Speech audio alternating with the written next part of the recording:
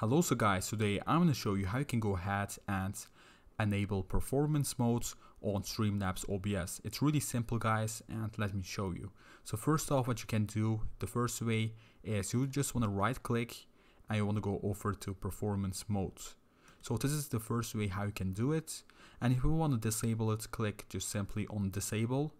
So now the second way is clicking on your screen. So select on your screen that you want so just click on just right click and go over to performance mode and can also enable it on here.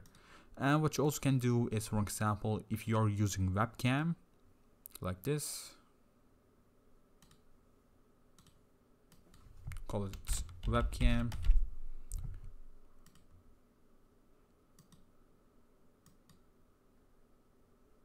let's click on done so you can also do it on here. You can do it like on every single file that you have. It doesn't really matter which one you are pressing on.